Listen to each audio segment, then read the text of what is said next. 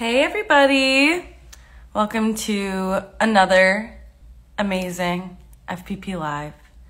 We have an awesome guest tonight, Siena Liggins, and she should be here shortly. Um, and I'm so excited. Hey, Dylan. Thanks for stopping by. Hey, Annie. um, I hope everyone's doing well. We have a really awesome workshop next week, or tomorrow. um, that is basically an open mic, a song share. Uh, so bring any art you have if you are an LGBT young person that has something you want to say. Um, we can workshop it. We can just give you some support. Oh my God, yay! Thank you for signing up, Dylan. We'll see you there. hey, Cynthia. I love your Instagram icon. Love it, love it. And I want to encourage folks that are here to utilize the question feature. So I think on this bottom bar here, you can click and ask a question. Hey, Celeste. Thanks for the kiss emojis. You can ask a question of our guest. And once the conversation's flowing, I'm sure you'll have a question you would like to ask. Hey, FNES. I don't know if that's how you like your username pronounced, but that's how we're doing it today, honey. Hope everyone's doing well. I'm like having a bad hair day even though I washed my hair today. Just keeping it real with you all. Just keeping it real while we wait for our guest. Hope everyone is staying cool in the summer humidity that is approaching. Actually, it was kind of cold out today. I wore shorts, kind of a silly move. Um, for those watching and don't know who we are, we are an arts organization. We're called the Future Perfect Project, and we provide free arts workshops to queer youth, which is a beautiful, amazing thing. I feel lucky we are able to do. So if you are a queer young person, or if you know one, send them our way, come our way, because we have a beautiful little community here that's only growing bigger and bigger. And we have a really incredible summer coming up that I will talk about later because Siena just got here. An icon has arrived. An icon has arrived. Siena, I think you need to request me to join. Yes, yes, yes, yes, yes.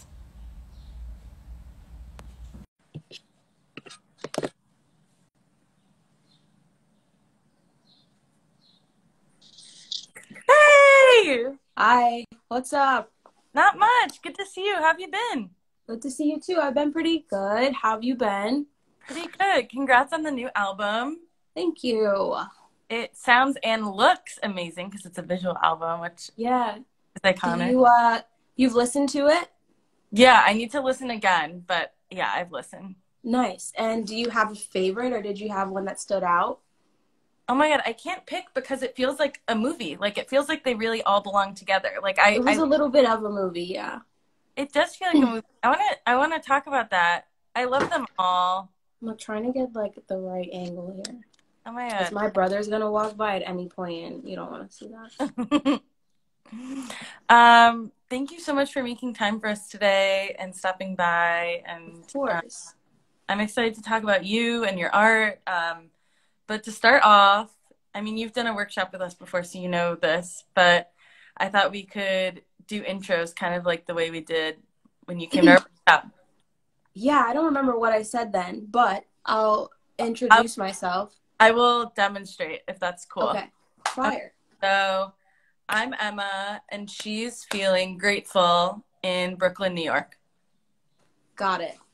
I'm Siena, and I am feeling cozy in Atlanta. Nice. And then what pronouns do you use? My pronouns are she, her. Awesome. Sometimes they, them, but I prefer she, her. Cool. I'm in that same boat. I'm like, we both are great. Love yeah, exactly. love a I she. I wouldn't be mad at any of them. Yeah, exactly, exactly. Wouldn't be mad. So what does queer mean to you? Just jump into it. You just released a very weird piece of art, in my opinion. my ring light just I just unplugged it with my foot. Oh my god. No, I love I love the drama. I love the drama. It's because my house has no like we it's a hundred years old and it has no uh, windows, so I have to have lights on. But will you repeat the question, Emma? Yeah, of course. Um, I'm wondering what queer you as a person, as an artist. Sure. I think as a person, queerness just means other than straight and cis. Yeah. Um, and so it's kind of just like all of the things that aren't, I guess, what would make you normal. yeah. Um, and I think within music and my artistry, um, being queer for me means that I get to make music for and about other queer people. And so it is a really cool space to live within um, to make music that isn't catered towards, again, cis straight people, which the majority of things are. Yeah. What track do you think, and if you haven't already, check out Siena's new record. And it's a movie too. I keep saying it's a movie because it's, It's a a visual. visual. It's a visual album. Yeah, I made a video for each song, so every piece of the album has its own visual accompaniment. which is like so it's so awesome to be able to see the music in that way how did I- yeah how did you decide to do that how do you infuse yourself and your queerness into the art you make Sure. Um, so I'm a huge Beyonce fan. Um, I think she's a boss. I think she's like one of the best like representations of woman. Um, just in terms of like her owning her career and her family life and like just giving 100% to all of them. And I obviously am a huge stan of Lemonade and self titled and Black is King as well. And I've always wanted to make. I, I love making visuals. Like I do my own treatments. I make my own um, sort of like vision boards, and I storyboard everything. And I was making this album, and I was like, ugh, all of them are singles. Like I can't pick one that I want to focus on the most. And I was. I was like, they all could go. Like they could all bang on their own. and I was like, I'm probably never gonna have another pandemic. Hopefully, fingers crossed. This was at the beginning of pan of the pandemic and like of lockdown when I was like very hopeful. Um, but I was like, I probably won't get another opportunity where I'll have all this time to like make stuff, and it probably won't be this cheap ever again either because everybody, you know, all of the studios and um, production houses like weren't having clients. And so I was like, I'm gonna make a full album visual. And my friends and I, I came to them with the idea, and they were like, "We're in." And I was like, "Really?" I was like, "This is nuts," and we have no budget.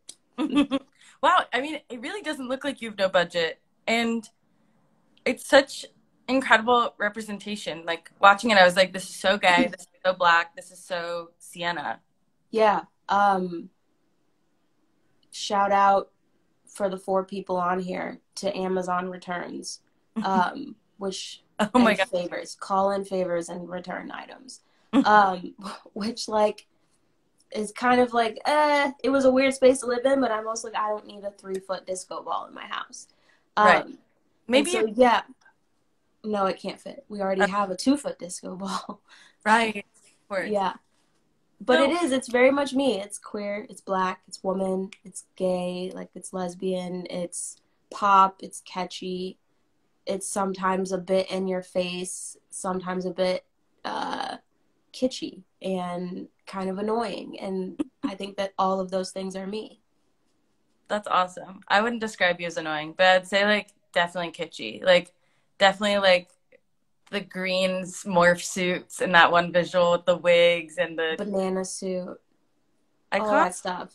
I'm Bana- just like lean into it. I'm a bit of a dork. I love to have fun. I um I'm a big kid. Like I love cartoons. Um if you notice like for Beach Butts, we did this full like ode to Rugrats um and ode to Susie Carmichael and like uh Kay Kuipers turned me into Susie Carmichael and that was so fire. And um it was just like I wanted it to feel very much like a dream of mine, which this has been a dream of mine since I was like 10, 11 years old. Totally. So for queer young people that are watching and want to be want to wear that banana suit but are too scared and are like kind of scared to be themselves, like I'm interested to know how you got there. How did you get to a place where you're like I'm being me 100%? Um I'm very lucky. Uh I have a pretty supportive family who's all hi Mark, um hi Ola. I've always been very championed in my family to be myself, even before I knew I was gay, before I had even accepted that or really realized it. Um, because again, in my mind, growing up, I'd never thought I was gay because I thought I was quote unquote normal. Like I, you know, had gay friends who I was like, their experience seems to be different than mine. Like, you know, my friend Dakota didn't have the relationship with his dad that I had, you know, with my dad. And it hadn't even clicked for me growing up that like it's really just about like who I want to make out with. But um I was very lucky to have such a strong support system. Um and I think that that really like laid the foundation. And knowing that not everybody has that um, that's kind of a reason of why am, I have like made a, it my mission to do what I'm doing to be as outspoken about it. Because I think that one of the things I did lack that would have helped me realize sooner that I was gay is if I had gay role models, um, right? Specifically within music, and I think that um, I made the album for people like me, and I made it in hopes that people would understand and take away this notion or idea that if you aren't, you know, being exactly who you want to be, if you don't really push yourself to be as authentic as possible, then you end up missing out on on life. And that's the whole double entendre that's the whole you know album title is miss out tonight. And it's really about just like being your full self and having fun with it yeah which is so beautiful what do you think is like the queerest song on the record ooh there's so many directions i could go right like probably the most like just in your face, like this is definitely about gay sex, is either Flower Bomb or First Time, or maybe Dirty Girl. I don't know. It's called Dirty Girl, so probably Dirty Girl takes the cake. Um, but I think the queerest one, where it's like, oh my god, this is such a queer kid anthem, would be Beach Butts because it's titled Beach Butts. It reminds me of just like rainbows and like unicorns and it's about the gayest thing that I've experienced to date, at least for lesbians. It's about long distance relationships because it's so hard to find a girl in your city. You know, I mean, after you've like had your first love and then you realize that she's best friends with like three people who are also your exes. And then like you end up doing this thing where you meet somebody on Instagram or Twitter or wherever. And then you guys have this weird like back and forth of where it's like I'm flying to your city or, or, I'm gonna do pride in your city. And yeah, I wrote Beach Butts about that very real experience for me. Yeah, and everybody feel- says blush is the gayest. I can We're- see that too. We'll do like a bracket, like almost like you know. Yeah, I'm sure we've got a connection somewhere. Yeah. I love it. Um, yeah, I just love that you're you do have songs about queer sex, but you also have songs about just queer experience, which is so important. In my opinion, I just feel like queerness often is sexualized because it is about, mm-hmm. Like you said, who you make out with and who you sleep with. And so um, I really admire that about your music that you're like, we're giving you the full queer experience. Exactly. Yeah. I think that it definitely like starts with that with like songs like Girlfriend where it's just like literally do you want a girlfriend? Yeah. and then yeah, I, I definitely explore it with like songs like Your Place, which is like, you know, I kind of want to go to your house. Like, are you gonna be cool with that? And um, Miss Out Tonight, which is obviously about like coming out and um, being out, which is something that you know most queer people have to at some point face. Um, so yeah, I, I, I never thought about it in that way because I think that since I do make music that I see as provocative and not in the sense of like provocative and overtly sexual, but I do know that it can sometimes it makes my grandma clutch her pearls. So You're I definitely. What's that? I said you're doing something right if grandma's clutching the pearls. Oh, I hope so. I hope she's watching this um, from her Finsta. But um, I I for sure try to make music that is just very true to my own experience, and I'm having the full spectrum of queer experiences because this is my life. Um, so dating and love and all sorts of things come up. Yeah, and you said it's always been this way. Like from the get, you were making music that felt like 100% you. Yeah, I my first song I ever made was called Poppin', and that was when I was in middle school, and it was literally just about how I had better shoes than everyone and how nobody was as poppin' as me. And as I grew up, I started to write, you know, more songs that just really reflected what I was going through. I one time remixed "Bills, Bills, Bills" by Destiny's Child uh, as a diss song to Sallie Mae because I couldn't pay my student loans. And so I've always sort of made music that has been very close to what I was going through. Yeah, it's it's so beautiful that you're able to do that. I think a lot of people get scared to put their full truth out there like you. So what because you growing up didn't have those queer black role models, um, what were some of the things that kept you going and kept you yeah, also Mark says please release pop and I do need to hear that. I'm not gonna lie to you, I looked for it on my email the other day and realized that my middle school email had been completely wiped. So Dang. So it's gone forever, but I do remember some of the lyrics. Oh my god, can we hear a sample? the first line. My brother's walking in now. First line. Walk through the door, all eyes on me, and fly's definition is what they all see. And I think goes like, other girls, they be hating, but don't step to me. And I don't know where the rest goes, but it was definitely like, it was a song where I was just like, I just want everybody here to know I'm here. Poppin', I have the best shoes in the place. Yeah, period. That's amazing.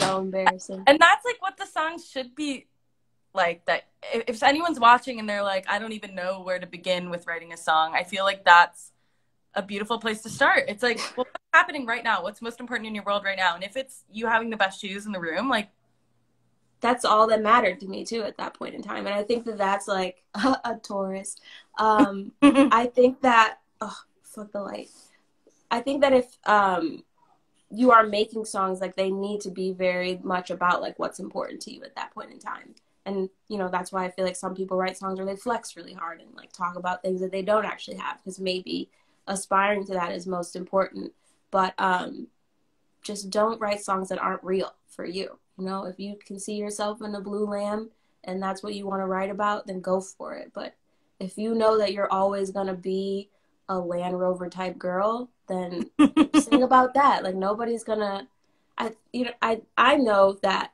as a queer black musician there's definitely a lane that I easily could fill and I easily could, you know, succumb to or shrink myself to, but I also know that that would be very dishonest for me um, and probably in the end less fulfilling. And so, um, be yourself. Don't be a liar to yourself or to the world, and just just go hard at, at what you're actually passionate about. Totally. We have a question from a viewer. Ooh, When did you know you were an artist? um, I knew. I always knew that I was a writer. I loved writing um, poems and like short stories growing up, but I don't think that I realized that I was an artist until I was in school. I had a songwriting, a lyrics class, or it was a performance class actually. Whoa, what? And what this is college. Oh, um, this is my yeah sophomore year of college, and I I had a performance class and I had written a song for a vocalist to sing, and we ended up tanking the project because the vocalist couldn't get the timing right. She messed up some of the lyrics, was pitchy here and there, and it was just like a whole thing. And then um, my professor at the end of the performance was like, stopped the show and was like, Who wrote this? And she I'm sitting in the audience because I'm like, my work here is done. I wrote the song. Give me the grade. Who's who wrote this? And so everybody looks to me because they knew I wrote it.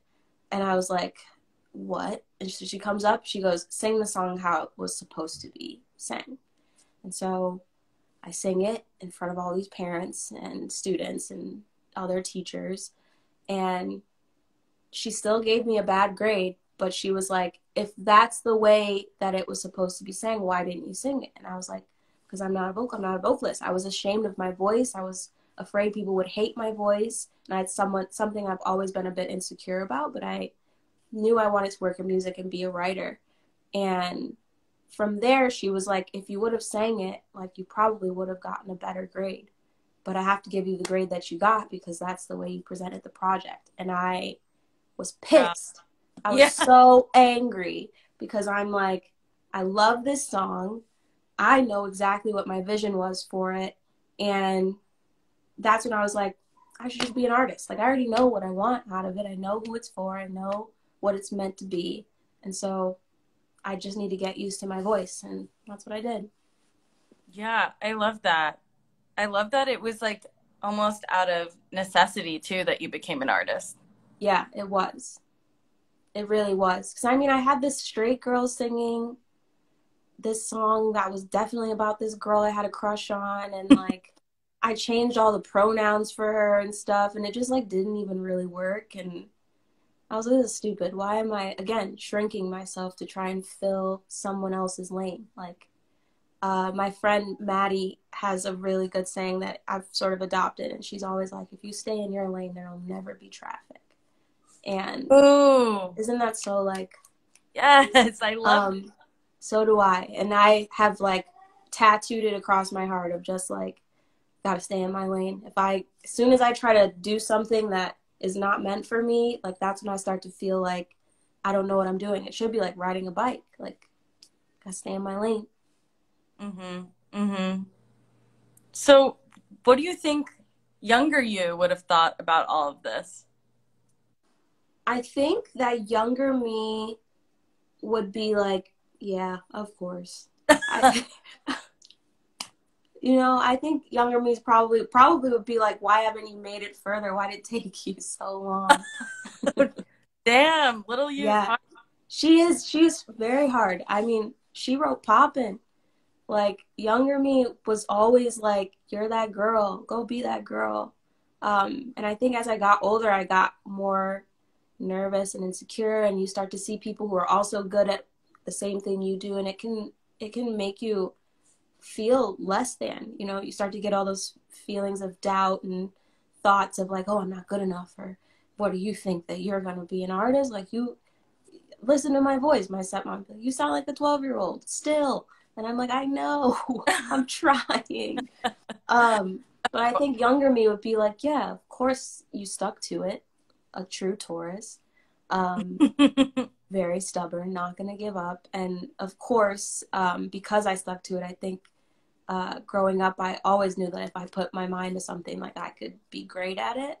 Um, so she's probably looking at me now, like, "What you you need to be further, like, pick up oh. the pace, hustle."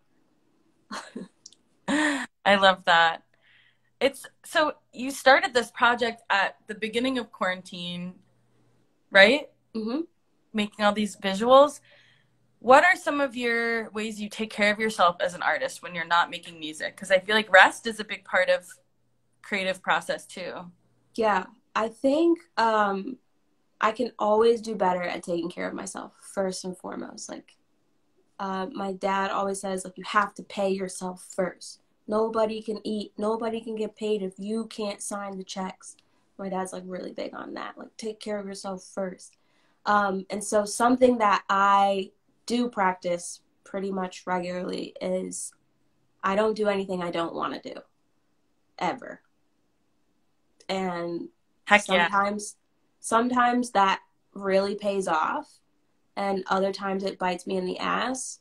Um, but I can always like rest assured that like if I'm doing something it's because like I'm choosing it, not because I have to, not because, you know, other people are telling me what is at stake if I don't, it's because I really, really want to. And I usually want to do what's best for me. Yeah. That's beautiful because I feel as artists and sometimes as queer artists if you if you feel you're not getting as many opportunities like it feels like you have to kind of sign up for everything because what oh, if yeah. one doesn't come around next you know totally yeah it can definitely feel like that um and that's like a real thing because there aren't a lot of things for us but there are more that are popping up and also like i feel like pigeonholing yourself as just a queer artist is sometimes where that that feeling of scarcity comes from. Um, because yeah you are a queer artist and most queer things are going to love you naturally because you know you're putting on for queer people which is awesome. Like we're a pretty inclusive group thankfully. Mm-hmm. um, but but don't pigeonhole yourself to that. There's probably a lot more out there. There's probably way more opportunity than, you know, just that one box that you check.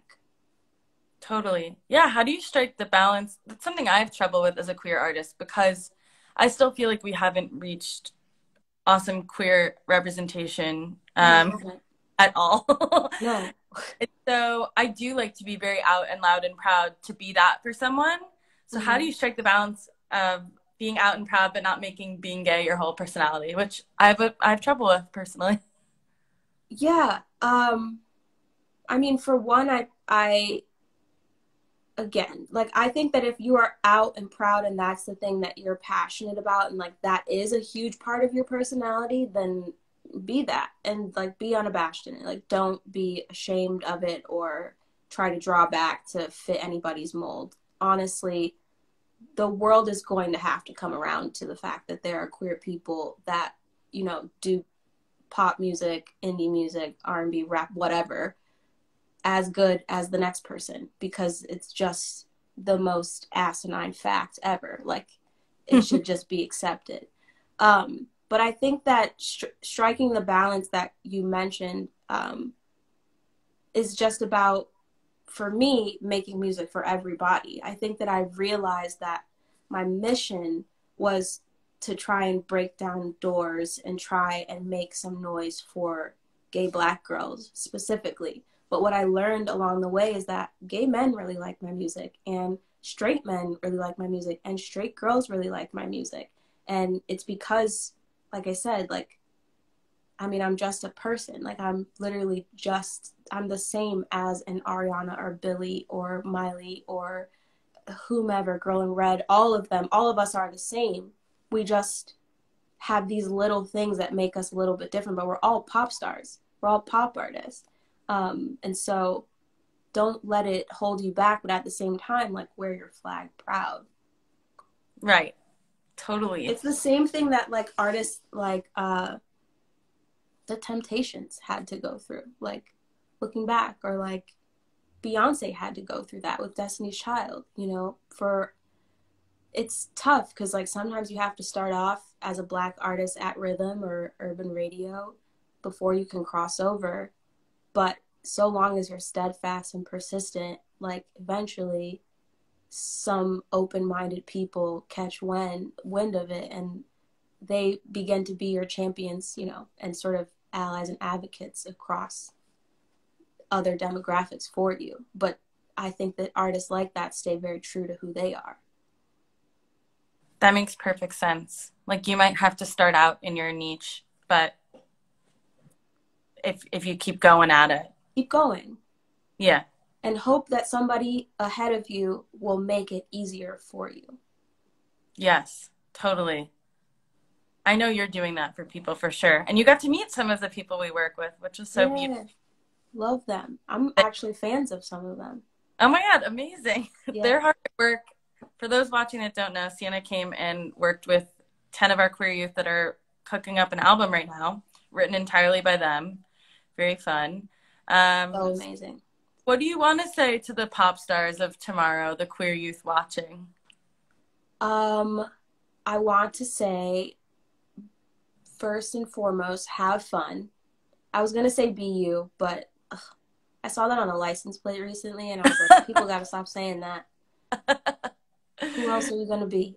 Um, right. um, but yeah, have fun.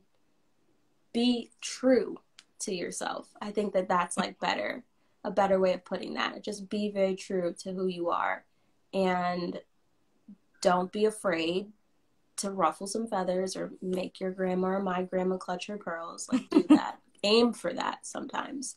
Uh, yeah, we're aiming to make your grandma. Yeah, yeah, exactly. Jesus, skin of my virgin ears.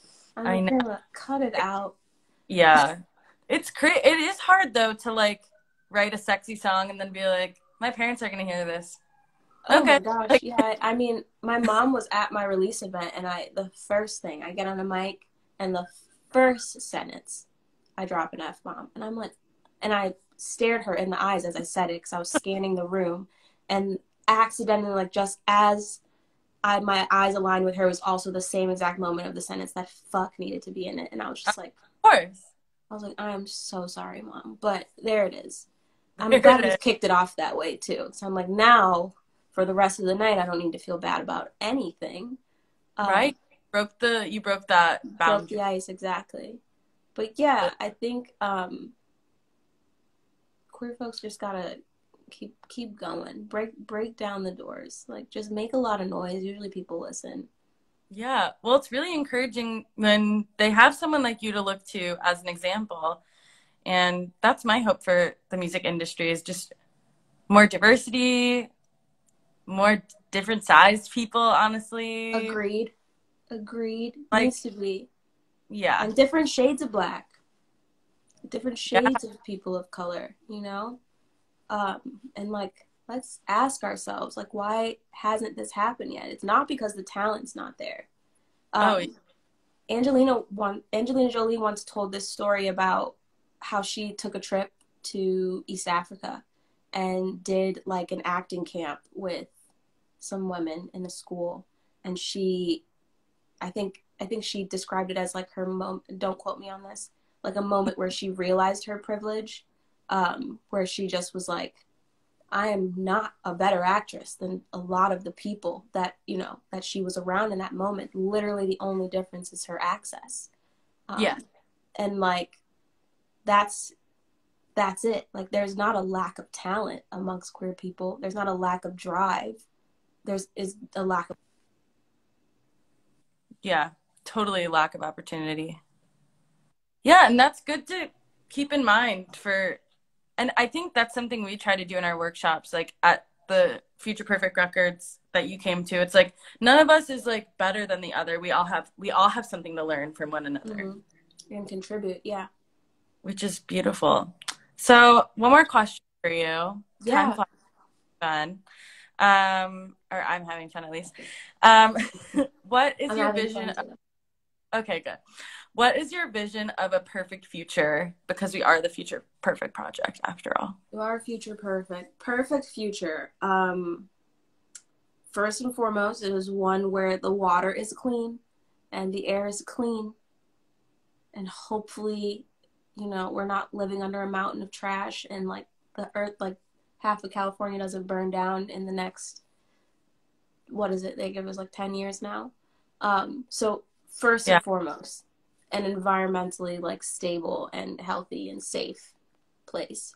Um, and then beyond that, just all of the things that I think would fall in succession after that. Just a healthy earth, healthy like socioeconomic landscape and uh, environment and I don't know. I just think that like with more love, which just like sounds so corny and is like the thing that everybody says, but I do believe that if you know there is more love and kindness, that like a lot of the things can get fixed. It'll it'll be a better place for a lot more of us. A hundred percent. It's only corny because everybody says it, and everybody says it because it's true. So it's everybody not. Everybody knows it, right? It's like I get it. I get it. Like you won't be like all love and sunshine and rainbows and shit, but like love and sunshine and rainbows are like exactly what we need. Yeah, we need we need rainbows. We need beach butts. We need yeah, exactly. long distance anthems. We need queer sex anthems. We need it all. Yes, you're giving us, and we're I'm so grateful. We love trying it. to give you a little bit of that, a little bit of my world. Yeah. So everybody please, please, please check out Siena's work, the new record, the new visual. Sienna, thank you so much for your time. This is so fun. Thank you. I had so much fun. Stickers in the Should mail. I, should I say something in here of just oh yeah because i haven't sent them and it's not because i don't want to send them it's because i haven't i haven't sent anything No, no, no. I'm wondering if you got my stickers I sent you. oh no Did they get lost in the mail? I didn't get anything from you Oh my god. Well, then we both have a letter to send each other. oh no yeah. you sent them to atlanta Mm hmm. no The USPS doesn't want us to be friends and it's rude. yeah well i still haven't sent mine but now that i know i'll send them ups Well, save the USPS too. yeah you're right low-key save the postal system Yeah. All right. We'll d- we'll figure out how we're mailing this offline, but thank All you right. so much. You can totally put whatever in the chat. i just wanted to let people know that this is my handle maybe if you can pin it afterwards but either way Yeah, totally. We will send them your way. We're going to post this on our page too. Thank you for your time. Thanks for having me. and See come hang out. All right. Bye. Bye.